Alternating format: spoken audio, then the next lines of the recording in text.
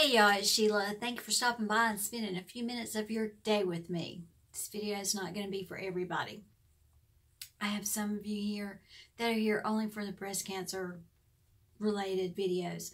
I have some of y'all that are here for other things. And I have some of y'all that have just been with me from the beginning and you always manage to hang on no matter how bad of a video I do. I thank you all. This is an update and a talk about some changes, life changes since breast cancer and since these surgeries. Today marks four months since my mastectomy. Uh, when you see this video, it'll be four months and a few days. Uh, February the 9th, I had my mastectomy and my DIEP flap reconstruction. Uh, cut from hip to hip, and that tissue, stomach tissue, was used to create a new breast. I didn't have a lot of pain. I had hardly any pain hardly any pain. The pain I had was in my back. I have rheumatoid arthritis. I was on the operating table for 12 hours and I had to walk bent over for a couple weeks. The most pain I had was my back.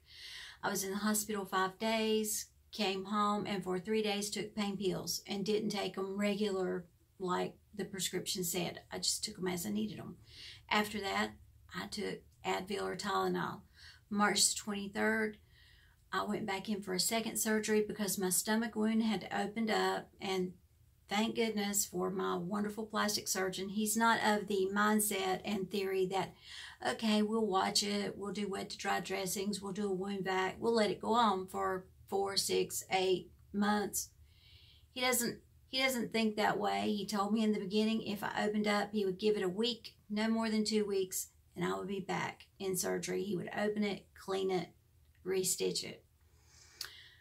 On March the 23rd, he opened, cleaned, and restitched my stomach, and he cleaned necrotic tissue away from my new breast. I can't, that was outpatient surgery. I came home and took one pain pill. Since then, it's been Tylenol, Motrin, Advil, whatever. Um, and it's been fine. I haven't had a lot of pain. Not a lot of pain at all. There are some things you have to deal with. I was prescribed by the oncologist Arimidex. Most of y'all saw that video. I had really bad side effects to Arimidex, hence the short haircut. Uh, if you want to know what happened there, you can go back and watch that video. I'll try and link it below. The only things I'm dealing with now are pressure and exhaustion. The first week and a half that I came home from my mastectomy and my DIEP flap procedure, I would get up and have a little swelling in my stomach, and that went away. So for weeks, I was getting up, starting my morning routine, looking in the mirror at this washboard flat stomach and thinking, wow, this is awesome. That didn't last long. I started swelling and bloating. I have to wear compression garments, also known as Spanx. I'd never worn Spanx before, but I cannot go a day without Spanx. And I have tried some cheaper alternatives and they do not work. They do not work. They're not the same. So I have one particular style of Spanx I wear and they're about $50 a piece. And um, I've, I've purchased four pairs of those and these knockoffs that don't work at all. If I go too long in the morning before I put the Spanx on, the swelling and bloating starts sooner. But even with the Spanx on, by 3, 4 o'clock, I look pregnant. I look eight months pregnant. I do. And I said to the doctor, when's this going to stop? When's this bloating going to stop? He said, Sheila, I told you this would happen. It happens to almost everyone. It's going to last six to nine months, maybe a year. I'm like, okay. Okay. I mean, what can I do about it? Nothing. So you just, excuse me, I got the hiccups. You just deal with it. The other thing is the exhaustion. It comes out of nowhere and will hit me and I have to sit down. I might have to lay down a minute or 15 or 20. I'm not accustomed to that.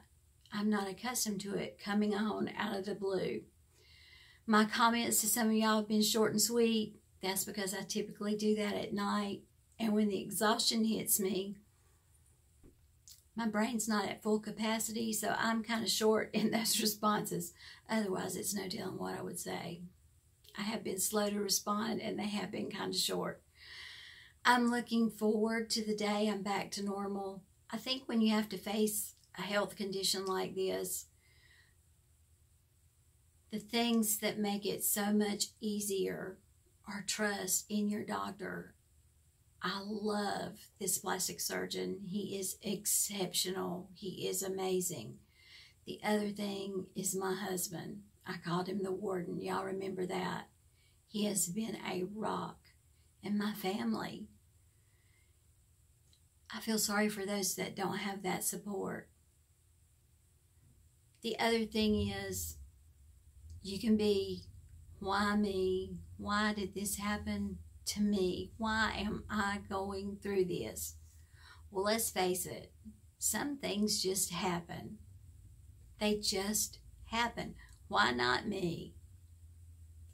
Why not me? I'm nobody special, and it just happened. And I tried my best not to let my head get sucked into, oh, poor, pitiful me. Now, it did happen a few times. I'm not going to lie. And there is some worry.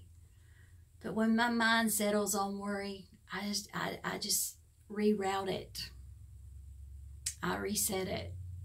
Worrying is not going to do me any good. It's not going to help me at all. So that's sort of the way I've handled it. I am having another surgery. I don't know when. It will be to make the left breast match the right breast. And it may be two more surgeries because I have necrotic fat tissue in my new breast. I'm having to use a heating pad two to four times a day on high, 20 minutes on, 20 minutes off, then 20 minutes on, and then I have to manipulate that tissue. It is a little tender. It's not a big deal. I can do it. Just have to have the air conditioner on when I'm doing it. Or the heat pump running. Gets a little warm under that heating pad. So he may be able to do it in one surgery, uh, go in and break up this necrotic tissue and fix the left breast, or it may take two. I don't know. But it'll be all right. It'll be fine. I have been so fortunate throughout this whole experience. There are people going through this alone. There are people going through this with very small children and no husband and no family nearby them. I have been very fortunate. Now, what's changed since breast cancer? A lot has changed since breast cancer. I used to vacuum my floors every day, either the robotic vacuum cleaner or me. If it doesn't get done, the world is not going to end because my floors did, did not get vacuumed. I used to go to bed every night with a clean sink, no dishes in it, the dishwasher loaded, or the dishes washed and put away. I may wake up to some plates in the sink. The world is not going to end. I don't worry about these wrinkles and lines and spots, the seborrheic keratosis. I, you know, that's just not a big deal in my life anymore. It's not. For years, I have not gone outside in shorts. I have worn pants or um, pedal pusher pants or long pants because I was embarrassed by the seborrheic keratosis on my legs. Honey, I run out the door in shorts now.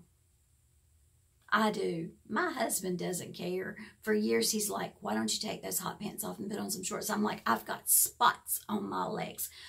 Let me tell you, those spots on my legs, I don't like them, but there's nothing I can do about them, and I'm not going to be miserable. I put on those shorts.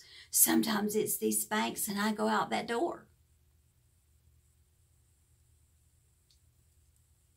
I I didn't like it when a lot of my hair fell out but it's just hair. Hopefully it'll grow back. Some of it's coming back, some of it's not. You know, it's not been long enough for that to happen. Little things don't rattle my cage anymore. Things about my body that I used to despise, I don't worry about anymore.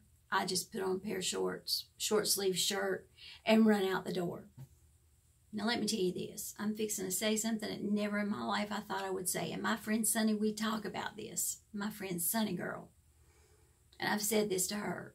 I cannot believe that I am saying the words out of my mouth. I will be glad when I can wear a real bra again.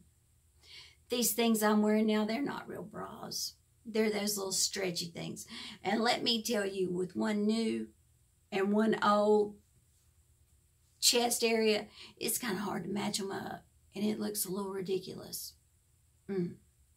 So, yes, I'll be glad when I can wear a real bra again and look normal.